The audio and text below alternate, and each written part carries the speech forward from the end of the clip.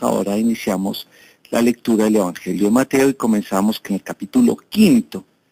Y el capítulo quinto, capítulo 5, 6 y 7, ese es el primer sermón de Jesús. Se conoce como el sermón de la montaña. Es decir, que Jesús sube a la montaña y se pone a enseñarle a los discípulos y por supuesto a la gente. Bien. Y comenzar con la bienaventuranza, recordarán el lunes por ejemplo, lunes festivo. Hay varios elementos que se articulan en el texto de hoy. Varios elementos que se articulan. Eh, yo los separo, pero no es que los separemos o los juxtapos, los, sí, los coloquemos mm, de una manera seguida, o este es el primero, este es el segundo, no. Elementos que se articulan dentro del mismo texto. El primer elemento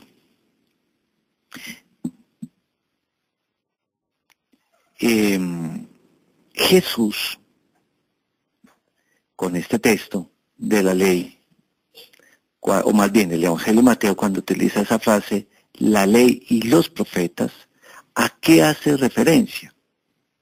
A varias cositas. Voy a enumerar una que otra.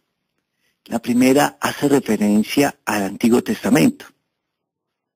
De manera especial a ese proceso de revelación de Dios es decir, al querer de Yahvé, al querer de Dios en el Antiguo Testamento. Esa es una frase que va a señalar eso. La ley y los profetas. Es decir, el querer de Dios, la voluntad de Dios.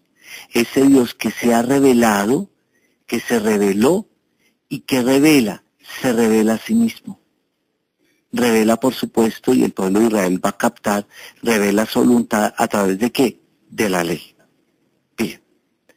Segundo aspecto, dice, no crean que yo he venido a abolir la ley de los profetas, sino que a darle plenitud, a darle plenitud. ¿Qué significa para nosotros ese texto? O esa plenitud. Jesús es el Hijo de Dios, la palabra encarnada. Y para nosotros los cristianos, ¿cuál es nuestro referente? Nuestro referente es la persona de Jesús. Ese es nuestro referente, la persona de Jesús. Ahora, la persona de Jesús no es que se haya puesto a cumplir la ley al pie de la letra. Más bien como que de vez en cuando él infringía la ley un tricito por ahí, uno que otra cosita por ahí hacía. ¿Por qué come sin lavarse las manos? ¿Por qué sana el sábado? ¿Por qué no hace tal cosa? ¿Por qué no hace tal otra? ¿Sí? ¿Qué es lo que está planteando? Jesús, como les decía, no es el cumplidor a la minucia de la ley. De ese planteamiento moral del Antiguo Testamento, no. Vuelvo y repito, ¿cuál es nuestro referente? La persona de Jesús. ¿Qué es entonces, por tanto, lo que el buen Jesús está planteando? ¿Qué es lo que Jesús nos dice? ¿Qué es? Y entonces podemos decir que la ley de Jesús es el amor. Por tanto, nuestro referente, o más bien, por tanto, al ser Jesús nuestro referente, su ley es para nosotros quien define nuestra vida, quien determina la vida.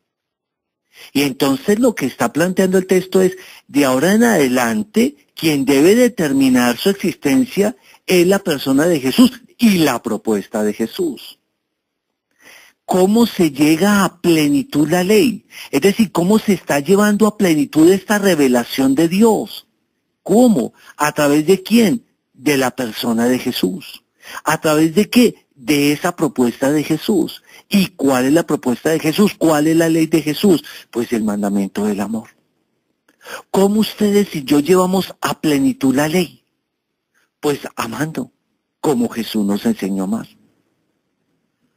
Si ustedes y yo cumplimos la ley de esa manera, perdón, si ustedes y yo vivimos el amor, estaremos cumpliendo todo.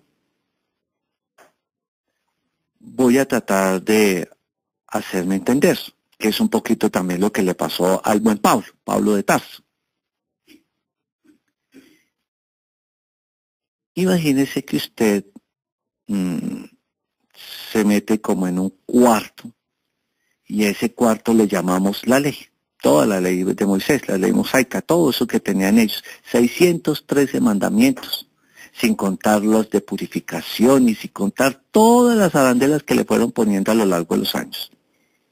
Entonces usted se metió a, ese cuarto y solo encuentra la ley, entonces dice, voy a comenzar a cumplir, y cumpla esto, y cumpla esto, y cumpla esto, y cumpla esto. Y entonces cada vez el buen Pablo descubría que entre más la cumplía, más, menos la cumplía. Entre más se esforzaba, menos cumplía. Entonces dice, esto yo no, ¿qué voy a hacer de por Dios? Entonces es como meterse en un cuarto. Uno piensa que el buen Jesús se metió en un cuarto y quiere que nos metamos todos en ese cuarto y comencemos a leer, porque como no vino a abolir la ley y los profetas, entonces hay que cumplir la ley. Y si alguien niega, como dice el texto, si alguien no cumple esos mandamientos por lo más pequeños que sean, entonces usted está esfregado hasta en el reino de los cielos. Entonces uno dice, qué barbaridad, terrible. Entonces cumpla, cumpla, cumpla, cumpla.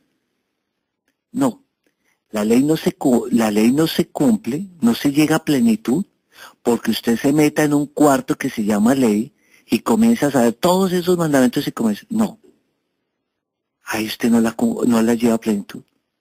La lleva a plenitud es cuando usted se sale de su cuartico, de ese cuarto, se pone por encima de ese cuarto, la supera.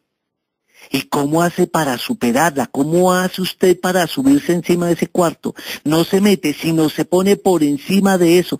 ¿Cómo hace? Ame. Ame. Ame según quién?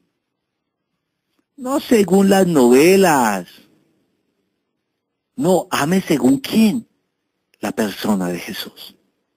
Es amar según Él nos que nos amó.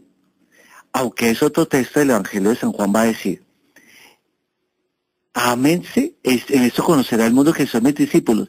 Si se ama los unos a los otros, ¿como qué? Es amarnos como Él ama. No es amarnos como Betty la Fea amaba. ¿Me entender? No, no. Es amar como quién? Como Jesús. ¿Y como amó Jesús? Entregando la existencia. ¿Cómo hago yo para ponerme por encima de ese cuartico que se llama ley? ¿Cómo hago, usted, ¿Cómo hago yo para superar, para llevar a plenitud esta ley? ¿Cómo? No es metiéndose en ella, no, no, es poniéndose por encima de ella. ¿Y cómo yo me pongo por encima de ella? Amando. Entonces, si usted ama según Jesús, habrá cumplido todo. Pero ahí no queda la cosa. ¿Qué es entonces en última lo que está planteando el texto? Tercer último aspecto. ¿Qué es lo que debería determinar? Si, si el amor de Dios es nuestro referente, el amor de Dios es lo que a nosotros nos debería determinar. Pero entonces, ojo con lo que les voy a decir. No es un cumplir y entonces, y esto, el amor, y esto, y esto, y esto, y entonces caeríamos en la minucia. No es el amor de Dios que está en nuestro corazón, que nos lleva a nosotros a una manera determinada de ser y de vivir. En otras palabras, no es hacer cosas para demostrar que amamos, sino es el amor de Dios que está en nuestro corazón quien nos mueve a obrar de esa manera. Es una con, e, el obrar es una consecuencia. Nuestra manera de actuar es una consecuencia. Nuestro proceder, nuestras acciones son una consecuencia de qué? De algo que sucede al interior de usted. De algo que acontece al interior de nuestro corazón. ¿Y qué es lo que acontece? Pues un Dios que está obrando dentro de nosotros. ¿Y cómo obra ese Dios? Amorosamente. Y al obrar Dios amorosamente dentro de nosotros, nos empuja Él a obrar que amorosamente. No es un remiendo que a usted le ponen por encima de su vida y entonces usted se pone a orar. Ese, ese remiendo se llama obras de amor. No.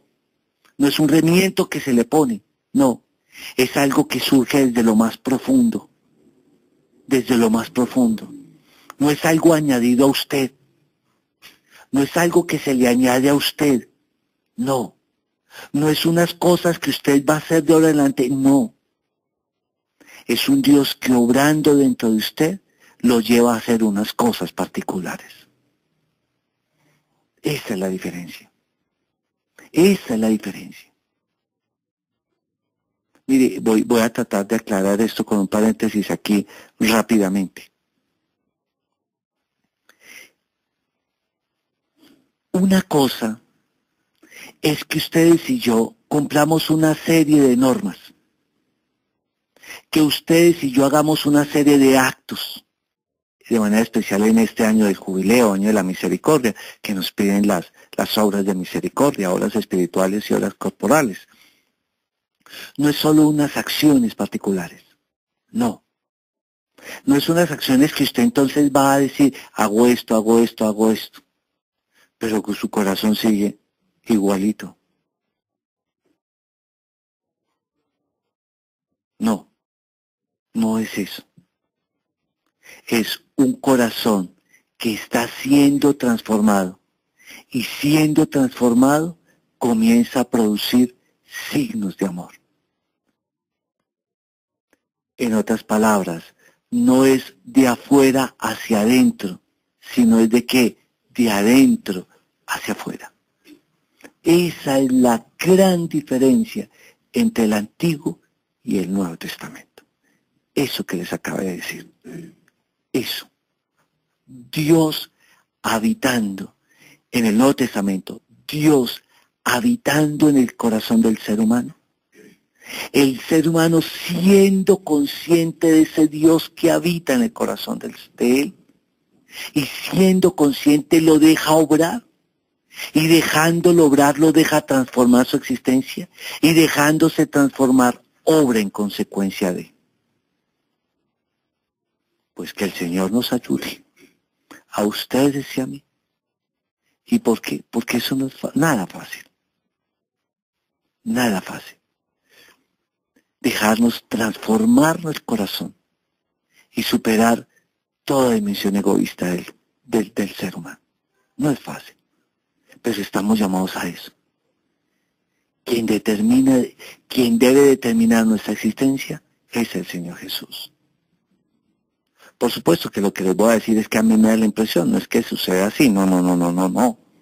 A mí me da la impresión que yo creo que somos más judíos y menos cristianos. Más moralistas, más requeñecudos y menos cristianos y menos cristianos. Me da la impresión a mí. Porque a veces hemos ido reduciendo el cristianismo a una serie de cositas. Y se nos olvidó que el cristianismo es una experiencia profunda del corazón que lo lleva a usted a un obrar. Y no lo contrario, poner a la persona a obrar de tal manera pensando que ella es cristiana. No es una experiencia en el corazón que lo lleva a una manera de orar. Por supuesto, yo tengo la ley. Si no tuviera, si teniendo la ley, mire lo que tenemos en este país, bueno, en el mundo, digámoslo de esa manera, para no tener problemas. Si teniendo ley, mire lo que tenemos en este mundo, ¿cómo será si no la tuviéramos? La ley no es mala, ¿sí me explico? No, no, yo no estoy diciendo que la ley sea mala. Y si usted no tiene contención interna, si usted no puede obrar desde el amor de Dios, pues eche mano a la ley, porque ¿qué vamos a hacerle? Es decir, usted todavía es un niño que necesita que eh, todavía inmaduro en la fe, entonces necesita obrar conforme a la ley. Bueno, si usted es inmaduro respecto a la ley, pues obre de esa manera. Pero si usted ya va madurando, va descubriendo la raíz de esa manera de ser y de obrar, que se llama experiencia divina en el corazón humano. Por tanto, lo fundamental de todo esto es una experiencia de Dios, no amañada, por supuesto, a mis intereses, no una experiencia de amor profundo. Y cuando usted ama profundamente a Dios, usted nunca se engañará. Nunca se engañará. Ni Dios a usted lo engañará. Y entonces obrará. Y entonces usted ya guardará tal cosa. No porque se lo diga la ley, sino será su experiencia de Dios. Pero lo repito, si usted todavía es niño en la fe, pues cumpla la ley. ¿Qué le vamos a hacer? Pues eche mano a eso. Eche mano a eso. Pero si usted ya está en un proceso de madurez, descubrirá que no es cumplir por cumplir, sino es una experiencia de amor. Termino con este ejemplo. No es cumplir con ir a la Eucaristía. No es que toque ir a misa. ¿Y por qué no es que eso los manda la Santa Madre Iglesia que toque ir a misa? No. Pues si usted ya no tiene una experiencia de Dios, pues aplique la ley, sí, vaya, porque ¿qué le vamos a hacer? Pero si usted está en esa sintonía de amor de Dios, entonces usted dice, no es que me toque ir a misa, no, yo voy a celebrar la Eucaristía. Voy a un encuentro de amor con Dios. Si ven cómo las cosas cambian. Es eso, es por una experiencia de amor que nos debe mover a nosotros. Por tanto, de ahora en adelante, nuestro referente, la persona de Jesús. Quien determina nuestra vida es la ley de Jesús, el amor. Gloria al Padre, al Hijo, al Espíritu Santo.